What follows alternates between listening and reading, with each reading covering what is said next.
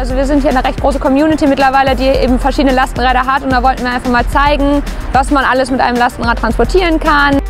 Es war ja am Rosenmontag, wir haben einen Rosenmontagszug oder Umzug in unserem Fall damit gemacht. Und wir haben, wollen einfach zeigen, wir haben Spaß einfach bei dem, was wir tun. Wir fahren nicht Fahrrad, weil wir es müssen, wir fahren nicht Fahrrad, weil wir uns kein Auto leisten können, wir fahren Fahrrad, weil wir einfach einen riesen Spaß dabei haben. Und ich glaube, das hat das einfach gezeigt. Wir haben es draufgepackt, wir hatten Leute dabei, die, die selten die danach gesagt haben, boah, so ein Umzug macht Spaß, gerne jederzeit wieder. Und das hört man, glaube ich, eher selten nach einem Umzug. Dass Leute freiwillig sagen, wenn ihr noch mal was machen wollt, sagt Bescheid. Oh, die Giraffe hier.